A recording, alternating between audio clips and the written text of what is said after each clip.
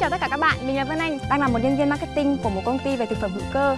Hôm nay mình tham gia cái chương trình uh, trải nghiệm nông nghiệp sạch với mong muốn để có được những cái uh, trải nghiệm thú vị nhất, chân thực nhất với bà con nhân dân làm thế nào để ra được một sản phẩm đạt chất lượng khi mà đưa vào thị trường. Và hôm nay về đây thì mình nhìn thấy đồi dứa bát ngát như này mình cảm thấy rất là thú vị.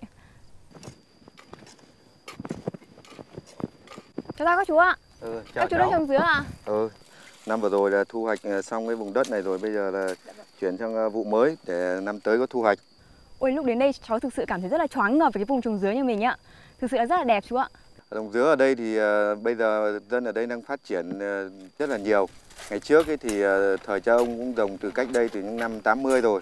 Nhưng mà cái thời điểm đấy thì bà con ở đây chủ yếu là trồng phụ xen canh với những cây vải. Sau này cây vải giá cả không còn được ổn định nữa. Bà con nhờ đã có kinh nghiệm nên đã chuyển đổi sang cây dứa nên là hiện nay đồi vườn ở các hộ gia đình ở trong thôn là toàn cây dứa và bạt ngàn. Trồng dứa theo tiêu chuẩn Việt Gáp á.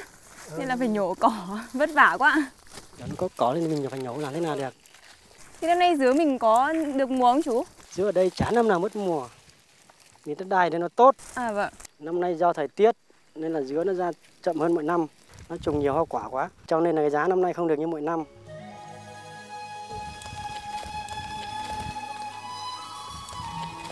Cô ơi, những quả dứa như nào thì mình thu hoạch được cô? Đây những quả dứa nó ở dưới đít nó bắt đầu vàng vàng rửa lên là bắt đầu chín là vặt được. Cháu tưởng là phải chín hẳn ấy thì mình mới thu hoạch được chứ. Bây giờ chín thế này là vừa, đến người tiêu dùng là nó vừa chín tới là mới ngon. Chứ còn chín quá thì nó lại không ngon nữa. Ừ.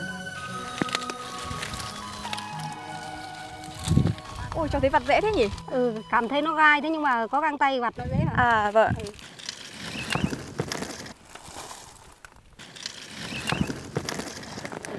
Năm sau mình có tiếp tục mở rộng diện tích không ạ? Về phía địa phương chúng tôi thì cũng tham mưu lãnh đạo ủy ban là không mở rộng cái diện tích dứa Vâng. mà tập trung vào chỉ đạo nhân dân áp dụng cái khoa học kỹ thuật để nâng cao cái chất lượng sản Dạ. phẩm và đặc biệt là vận động nhân dân là tham gia cái chương trình sản xuất theo tiêu chuẩn Việt Gáp. Và để từ đó thì mình có những cái ờ, liên kết, đặc biệt là liên kết hợp tác xã, tìm được những cái đầu ra ổn định, thuận lợi trong công tác tiêu thụ sản phẩm.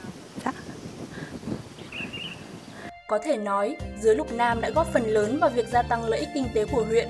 Đặc biệt sau khi huyện quy hoạch vùng chuyên canh, nhiều hộ đã áp dụng tiến bộ khoa học kỹ thuật, trồng dứa theo tiêu chuẩn Việt Gáp, giúp sản lượng và chất lượng quả tăng nhiều lần so với cách trồng truyền thống. Người dân thoát nghèo và vươn lên làm giàu nhờ cây dứa.